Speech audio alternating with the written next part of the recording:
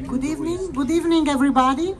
Thank you for joining us and taking some of your time. I know it's been a very busy day for you all, but it's a great occasion for you to learn some experience from some insiders, some players, some key players of our industry. So it's great. I want to welcome everybody uh, for this uh, talk. We called it Emphasize Hemp and Collaboration.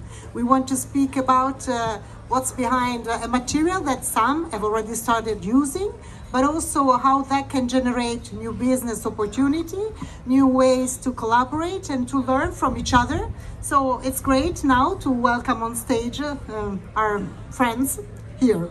Here we have um, on my left um, Rashid Iqbal from Naveena Denim Limited, Executive Director. Uh, then we have Christina Christina Agtzidou, Design Manager Denim, Tom Tailor. Juliane Nowakowski, Head of Sustainability and Corporate Responsibility, also Tom Tailor. And then we have um, uh, Denis Druon, uh, the Flax Company, and Marmara Hemp, President and CEO. And uh, Lenzing, from Lenzing, Michael Kininmonth, Business Development Project Management. Okay, okay. Um, so um, just the introduction is to start speaking about the collaboration. There has been a collaboration.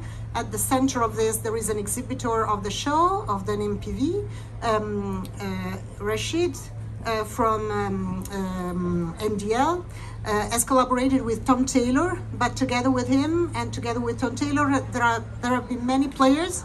We selected some of them which have played an important um, role because we know that collaborating is not just one plus one plus one, but it's plus one because there are five, but it's much more than five because this brings a lot of uh, initiatives, along a lot of trial and errors, but also a lot of richness and great experience for everybody because we are also here to share with you the experience they had. And also at the end of this speech we want to that everybody can speak to each other learn from each other from this experience that can also bring uh, a richness and a better experience uh, in their business also for the future for what the future of the market can be and how our business development can bring to everybody so uh, I would like to start from uh, Rashid um, Rashid, um, how was this collaboration started? Um, starting from hemp, starting from what you did in the past and what you're doing now together with Tom Tailor. Hi, Maria. First of all, thank you so much. And uh, I really appreciate you taking out time to call all the collaborators and talk about our experiences. Um, first of all, about the collection. This is a very special collection. Last year in January, when Christina approached us and she wanted to have a line with hemp and of course something with a soft hand touch. And uh, to that I said, okay, instead of going back and forth and doing number of trials, why don't I use my last year's experience of a collaboration with Lenzing Company? And last year we did a very interesting project. In that case, Lenzing was the designer themselves and they were the fiber uh, suppliers as well and it was Jeanologia and Andrew Mawson who was designing the fabrics. The end result was very interesting and very much in our control. We knew exactly where we are going to land. I thought that it would be a good idea that we bring all the supply chain members together and have open discussions. Because the first time when I talked to Christina, she had a long list of, you know, she want this, this, and hand feel and physicals and right, sustainability, everything has to be, you know, to today's time, a fabric has to be sustainable. That's the minimum requirement. Whatever best practices a mill can put, that's fine. But more than that, she was quite demanding. So I thought it would be a good idea to reach out to the partners and discuss the target, what we have in hand, what kind of challenges we have, and how we can achieve them. See, in these days, just to have a look at one shade or a, one particular slug character and then you say no i don't like it you know that's a lot of efforts and money so we tried to uh, do as less as we can and try to please her as much as we could by going back and forth. So there was a lot of efforts in this collaboration.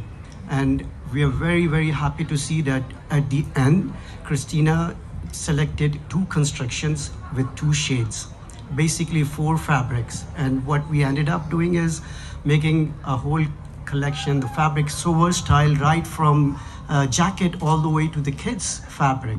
So that's the beauty of this collaboration that we have had, and we finally ended up with one of the most interesting collection that we have designed. Okay, thank you. Thank you for this uh, telling of the story of the since the beginning. Now I would like to know from Tom Tailor, from Christine, and from Juliane, um, if it was the first time that you started a project which was entirely sustainable, and also how this originated and what is this collection like? Uh, where can we see it? Uh, please tell us more. I can explain a little bit more. Um, first of all, Tom Tailor is already doing a lot of sustainable products. We were already much entered into organic cotton and better cotton for a long time. We just saw that um, there are a lot of issues at the moment with uh, cotton fibers, and we all know that. We're all aware of this. We just wanted to find alternatives next to cotton and see what else we can do. So we wanted to create more super fabrics, I would say, that contain uh, a blend of fibers that are sustainable, that are ecological, and they have less uh, footprint, less impact. So we came to this idea of uh, finding a partner where we could trust and that we could have a very good connection, a partner that we know already because we already sourced together. We did a lot of collections in the past, and it always worked. So we thought, okay, let's let's try and make this happen. That's why we started more than a year ago. It was a very slow development with a lot of back and forths, yes, demanding. but um, the target was to reach to a result that we will be happy as an organization that we offer a product that we are proud of and that our customers, our end consumers would understand it and that they would wear it. So also price range wise. So this was the, like the difficult part because we know that also hemp is not the, the cheapest fiber, we all know. Uh, but it's worth it because in the end of the day you create something which is good and we also try and we target to reach to the customers to explain them what is it and why we use it. Mm-hmm. But uh, when will it appear in the market and how much will it cost at this point? You spoke about the price. We okay. want to know about it. okay, we will deliver the goods in August okay. already this year, and everything is in production. Um, and yeah, the price is very average, so we are around 59.99. So it's very commercial. Everything is easygoing. And the two fabrics that we have created, the two different families that we have, one is much more commercial, a blend with BCI cotton and hemp and lycra, which is more, let's say, mainstream and it will reach to more mainstream consumers. And then we have a blend with tencel inside, which is a little bit heavier and much more authentic look. And there we target to reach a little bit more fashionable customers because we also offer more fashionable fits but all the prices are quite average and easy to reach from any people out there. Anybody, any consumer. Okay. Yeah. Yeah, and adding to this, I mean, I'm wearing the jacket already and the pant as well, so you can already see uh, one of the color ranges. But the most important thing is to highlight here. I mean, Christina was pushing internally. I mean, from a Tom Tailor perspective, this topic super well. I mean, we we have a sustainability fix, and she always. Um, I was like updating everyone in the team and explaining how good the whole collaboration between the different parties has been.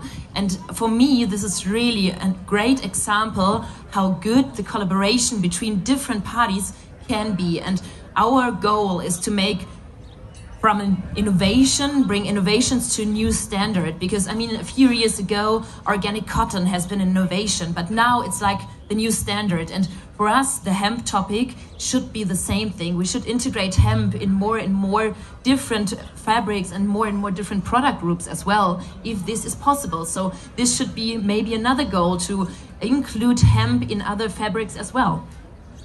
Okay, thank you. So as we speak now from another fiber perspective, and so let's introduce uh, Denny. Uh, tell us tell us something more about this experience. How was it for you? And also, uh, of course, there are different kinds of hemp. If you want to say something briefly about this, I know it's uh, it could be raise a discussion, but we also want to know more about this. Yes, there are. You know, everybody speaks about hemp. There are many different kind of hemp, and uh, there are some. Basically, hemp is a natural fiber, in any case. But there are some hemp which are more sustainable than the other one, and uh, that's why we uh, started the collaboration with Rashid. We wanted to understand, you know, as as most of the brands also didn't know much about hemp, and uh, so we explained, you know, the our hemp, you know, the Marmara hemp, basically um, is you know is difficult to spin because it's a hemp fiber which is not bleached, which is not chemically treated, which is only mechanically treated. So since the fiber is only mechanically treated, the fineness level is lesser, but uh, we have an extremely um, uh, sustainable fiber. And uh, also Rashid was looking for uh, fibers who got certification. You know, that's what the brands are looking for you know so we um, we did the um, uh, you know the sustainability certificate um, we also did the cradle to cradle certification and we got the platinum level. Actually we were running for the uh, for the gold level and we got the platinum just before christmas. So that was really good. congratulations. Thank you. And uh, and uh, and also we uh, completed end of last year the lca uh, and which is actually so we are the only hemp fiber having the full LCA done. And uh, and when we when we saw the results, actually we our fiber is carbon negative. So that was the very very you know uh, great news because you know when we ran it we didn't know exactly you know everybody spoke about the uh, you know the sustainability of hemp, but whenever you make it you know you make the LCA and we you know we found out that basically to produce one ton of cottonized hemp fiber, we produce 1.2 ton of carbon. But in the meantime, the fiber is absorbing, our fiber is absorbing 1.7 ton. So we are 0.5 ton carbon negative. So that's the good thing of using, you know, the, the, the, the good hemp. Uh, I mean, this hemp, which is only mechanically treated. Okay, thank you. Um, Michael, um, we would like to know something from Lenzing um, if uh, uh, Lenzing has already worked together with uh, hemp in the past and uh, tell us about this experience from your point of view.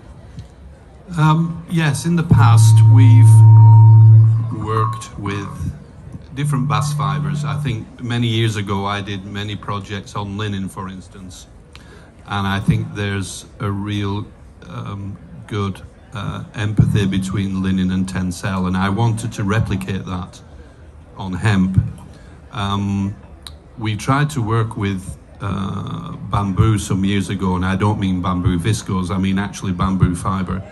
But this was a super coarse fiber and not really suitable for uh, textiles. So I was wondering where we were with um, with hemp. I'd heard about cotton cottonized hemp. 2019, uh, I met with my friends at NDL. They'd started to make some fabrics, and I said, "Well, why don't we do something together?" Um, and COVID got in the way, but last year we launched something, a project that we called Bast Recast, and um, NDL supplied about seven base fabrics, indigo and ecru, many blends with Tencel, some with Modal and we made a collaboration then, probably one of the best projects I've worked on. Uh, from Endrime was involved as well. And so that was a very positive experience. Uh, that was with a supplier out of China.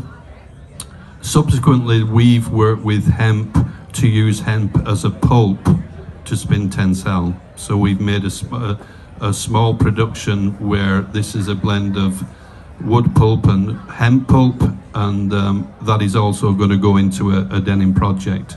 So I think our interest in pulp is, is quite strong at the moment. Mm. I, I, want to say something which I forgot to say because I forgot to introduce myself, not because I want to speak about myself, but because I represent Textilwirtschaft. My name is Maria Cristina Pavarini, and I work as a journalist for this uh, amazing magazine you all know because it's uh, number one in Germany. So Let's go ahead. let's go ahead with this conversation. And uh, you, okay, we speak about the past experiences and we speak about also the new uh, collaboration that has joined together everybody, but also would like to know now, um, making a treasure out of this experience, what do you see as a future uh, evolution of this for you to capitalize and how to continue? So I would like to know this new set of questions to everybody of you.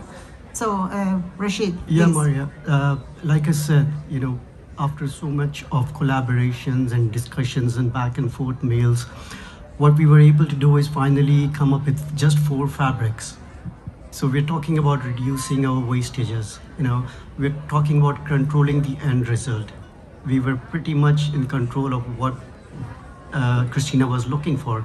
So the idea really was not just a mere discussion, but to understand what would be the right blend it's not about having a higher percentage of tencel or higher percentage of hemp. It's the question about having the right percentage. What is the right blend? So we were able to figure that out with all these discussions. So going forward also, I would have open discussions. See, we have already been working with brands one-on-one, -on -one, more of an isolation thing, but then there is a learning curve. You know, you end up making so many fabrics, which you yourself look at it and say, hey, it's not going to make it. With these kind of open discussions, you exactly know where to land. So that's the best part about the collaboration in this project. So going forward also, I would strongly uh, recommend having open discussions and we missed out our Jeanologia partners because this collection was all waterless or very less water used in the whole uh, and it has got a very uh, a low EIM score as well. So these were the things that were very, very uh, strongly considered while designing the construction. So going forward also, we would definitely continue discussing with uh, machine manufacturers. See, the idea comes from Christine, right? What is in her mind? And from there we start reverse engineering, going all the way to the yarn, the blends, the dyeing processes, you know, how we can reduce our EIM score. So all this was possible because of a good collaboration and open discussion. So we would continue doing this for future. Thank you. Thanks a lot. And now, what about Tom Tailor? Uh, will it continue offering these kind of fabrics, including hemp, or more? What did you learn from this experience? Okay, I mean, we offer these product ranges now in August, in our August collection. But for me, it should be a goal to really integrate these super great, comfy fabrics, for example, into our never out of stock program, or to have it like a really basis in our product offering. I mean, this fabric is really nice, it looks nice, it feels nice, it's sustainable, and why shouldn't we continue using it? For me, it shouldn't be just a one-time shot. Can I add something here? Because it's not only about creating fabrics, it's also important the way that we create them. So the way that we collaborated with NDL, it was great because we, I mean, there are also other partners. We saw in, in reality how is it to create from scratch something when we usually pick up fabrics randomly from different uh, mills. But when you sit down and you, see, you think, what do you need? When you have a standard and then how you bring it a little bit lower more to the normal, like to the reality, and then you can see what you can do. This is amazing, actually, because you learn from it, and we all learn how each what, what each business needs, actually. So this was the greatest part for me in the end, and that's why we will keep on doing such projects and the sustainability world is moving super fast. We all know it. And maybe, yes, for now, this is the right fabric, but maybe we learn also new things during the next weeks, years, months, or whatever.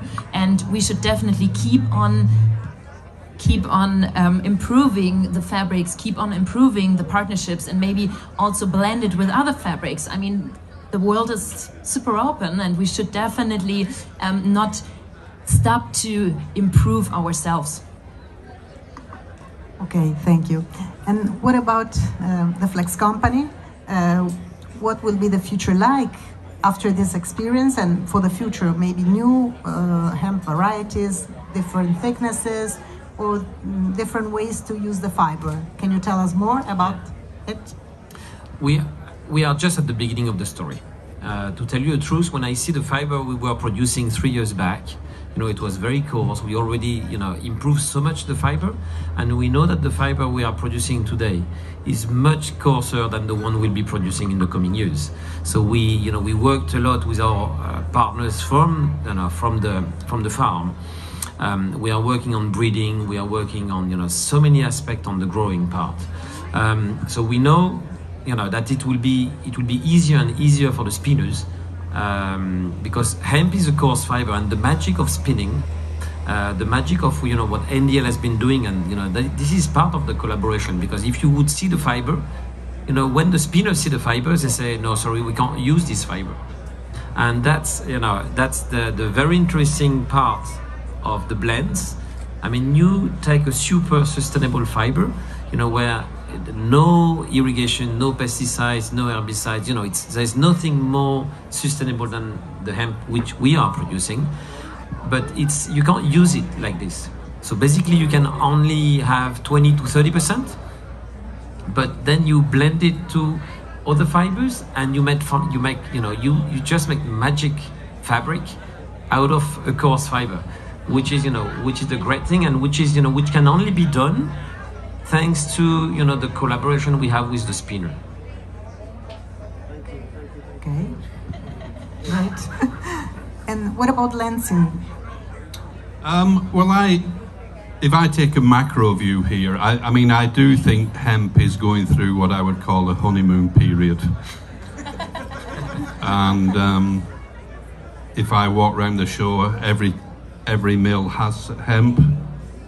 If you ask them why, they're not too sure. Why? Because somebody else has it. Um, Could be. and I think just when you're in a position of telling a story about responsible production, um, some NGO or brand will come up with a reason why it's not. So I think there's many challenges on the sustainability front for sure. We're ready. I think just really looking forward, I had to write, uh, many years ago, there was a BBC website and you could put your date of birth in there and it told you the, what number of human you were on this planet. So I put my birth date in there and it calculated that I was the 2 billionth, 835 millionth, 178,215th person on Earth. Okay? So about 2.8 billion. Now I find myself next year, the population of the world will be 8 billion. So since I was born, three times as many people on Earth. And those people need feeding, they need food, they're getting richer, they can buy more things. So eventually, the dominance of polyester and cotton is not going to fulfill the textile needs. Something has to fill that gap. So there, there was um, a theory put forward in the 1980s called the cellulosic gap, and it came up with reasons why polyester and particularly cotton will, will not expand exponentially, and cotton particularly. So something has to fill the gap. And I think the emergence of hemp is exciting. Um, even if it's only that we'll be able to have a crop growing in the northern hemisphere, we won't have to rely on cotton growing countries for a cellulosic fiber. Having said that, I think there's a, there's a long way to go before the, uh, the industry understands hemp. Um, I don't think there's economy of scale. Um, I think there needs to be a lot of work in collaboration with spinners and weavers. And I think there's a lot of probably what I would call hype um, that has to be uh, has to be pushed aside. But I think it's positive, and um, I look towards a future where we can collaborate with other fiber suppliers. Thank you. It's a it's a great great topic you touched, and it was some somehow introducing my next question. You stole my idea because I would like to everybody to ask everybody one last question. I know that uh, you want to celebrate, but really, I please I keep your short, uh, short and clear answers so everybody can also um, inter, inter, interact with each other and speak to each other. But I would like to know what's the future of denim? What's the future of jeans? Do you think that hemp could really mark the future of jeans significantly? See, as a mill, I think um, all natural fibers are important. People are going towards natural fibers. Uh, durable denims is the thing that we are particularly interested in, so a pair of jeans could last longer. So, coming back to the question of hemp, it's a natural fiber, it's going to be important, it will continue. And I hope we scale it up to uh, a level where the prices are within the reach. And uh, it's all about natural fibers and regenerative fibers. Okay, thank you. Tom Tailor, what does Tom Tailor think that our two I believe friends? the same. I agree completely with Rashid. I think the future is all the natural fibers and all the alternatives, but also recycled fibers. So it's not only the natural ones, but also the recycled, because we have to recreate from what is already existing. So I think this is definitely the future. And uh, what it refers to the sustainable fibers like bast fibers, as we have discussed, is I think we still have to educate the end consumers. If we want to have a future on that, it's going to happen only if we explain to the people out there, because we, the people who are here, everybody knows already. But the people out there, the ones which who will buy, they need to know. So I think it's it should be a little bit more pushed from all sides so that people will recognize it and go away slowly from all the fibers which are harming and they create higher impact on earth. Juliane? Nothing to add from my side. I mean, she's our denim expert, so definitely uh, mentioning everything. Thank you. What about Dennis? Um, yes, you know we we are uh, producing hemp. We're also producing um, uh, flax. So we're also selling cottonized flax, and we also launched, uh, you know, uh, last month the first uh, GRS certified uh, cottonized linen fiber. So we are, you know, I'm proud to announce it here today, and I hope NDL, uh, you know, will uh, will use it in their blend. Um, I I believe that you know hemp or flax are part of the solutions. Of course, you know the cotton industry has many. The, the, the, the denim industry have many solutions with the recycled cotton, you know, recycled fibers. Uh, natural fibers are one of the solutions, um, probably a little bit more expensive, uh, but we have to make denim more durable so we can afford paying for natural fibers. You know, uh, hemp or flax will never be as cheap as cotton or as the synthetic fibers because um, uh, because we have to pay the farmers also, and you know it has a cost.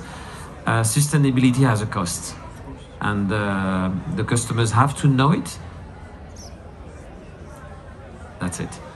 We have to inform them. Michael? Um, looking to the future. Well, if we look into a past, I don't know if this is an urban myth, but I'm sure I read somewhere that the first denims were based on hemp. I asked the Levi archivist when I was there last year. They can't find evidence of this, but I'm asking Mohsin to research this deeply because he, he'll uncover it if anybody will. For the future, You know, I, it's the 30th year of Tencel this this year, and finally Tencel is cheaper than cotton, and so I would say cotton really doesn't compete on a on a in a textile sense. Cotton has bigger competition from other arable crops, and I think that in the long term, the point I was making about population um, about fertile land. Cotton competes with arable crops. Hemp and wood and wood pulp do not do that. So I think the future for cellu- certain cellulosic fibers is strong. Um, I think cellulose is the most abundant uh, natural polymer on Earth. Mankind is going to have to utilize it in many ways uh, for pharmaceuticals, for fuel, and for textiles. So I think it's important that um, we work together on collaborations. Um, I think it's still a long road for hemp. I think The farmers have to work out what to do with it, but I think that in the future, I think hemp is probably going to be a much larger part of the industry. Thank you. Thank you again for your deep thoughts.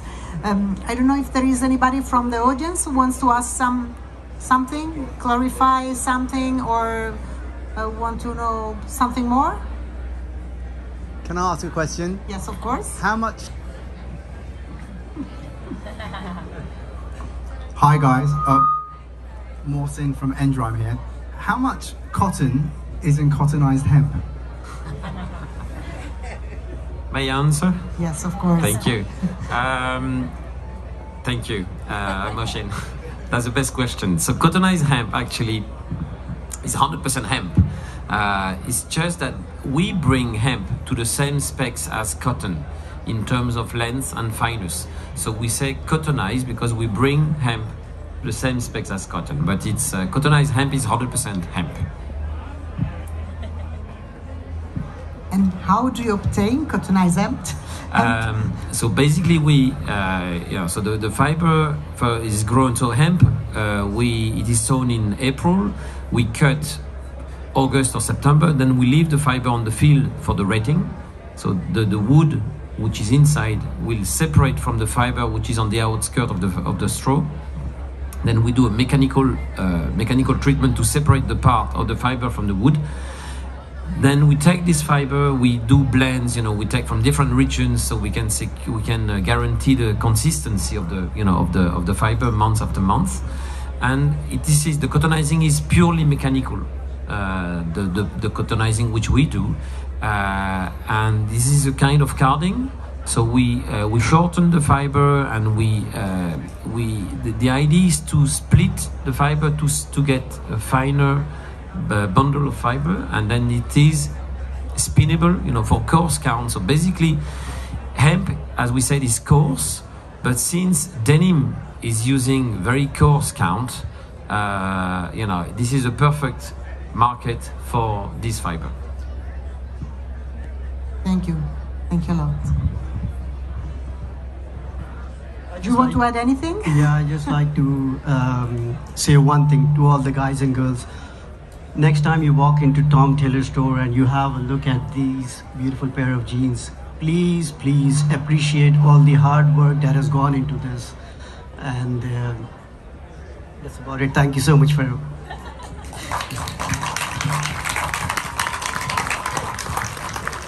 So I would say thanks everybody. Whoever wants to speak with our uh, speakers, please be free to, to talk to them and enjoy the evening uh, with drinks and talks and chat, whatever. Thanks again for joining us and being part of this talk. Have a good evening. Bye. Thank you. Bye bye. Thank you.